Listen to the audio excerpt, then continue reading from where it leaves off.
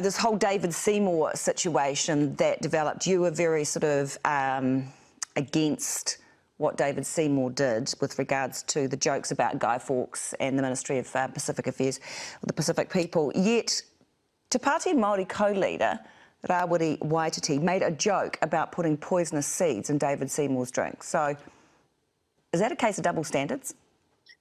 Not at all. I'm not here to speak or defend for what Te Pāti Māori did. But let's please be really, really clear. The underhand way that David Seymour is whipping up collective violence against Pacific ministries and by extension Pacific communities and brown communities is completely and utterly deplorable. And he's made it quite clear over the past few days again and leaning in and actually giving people a real clarity of what he stands for and what sorts of politics he stands for. Mm. This is simply not acceptable. And this is why the Greens are focused on leading an inspiring campaign and not a denigrating one.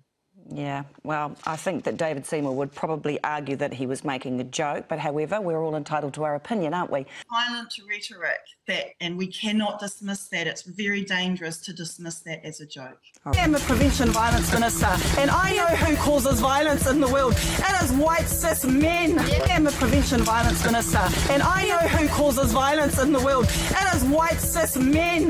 Winston Peters has called the comments racist, sexist, and peak madness and he's calling for her to be sacked.